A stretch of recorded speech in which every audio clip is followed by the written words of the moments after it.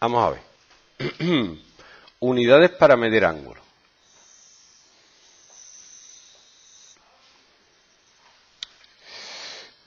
Vamos a dar tres. La primera es el grado que tú has visto de toda la vida.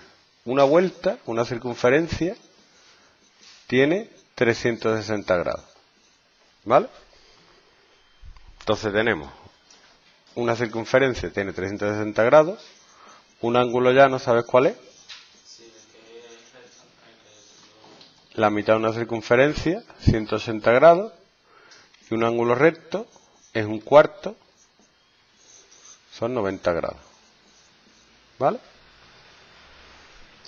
Pero a uno no le gustaba. Esto en la calculadora son grados de, de gris, del inglés de gris, grados. A uno no le gustaba que el recto fuera 90 grados y dijo no, no me gusta. Entonces me voy a inventar los grad, que viene en la calculadora como grad. Como si fueran grados, pero no son grados.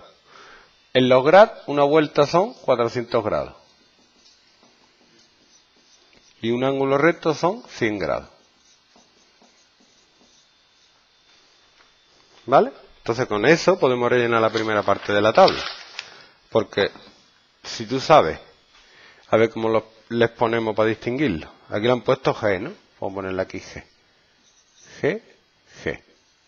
Podemos hacerlo todo con regla de 3, ¿vale? Si 90 grados sexagesimales son 100 grados, entonces 30 grados serán X. Y X sería 30 grados por 100 grados. ¿Te la han enseñado con regla de 3 o cómo te la han enseñado? Sí, me dijeron que, mi profesor me dijo que la, la, una simple regla de tres.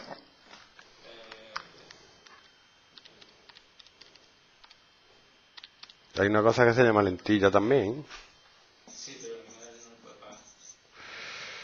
Ponte gafas. Fácil, ¿no? Por ejemplo, 45 grados. Pues si 90 grados decimales son 100 grados. Eh, 45 son X. Entonces X sería 45 grados por 100 partido 90.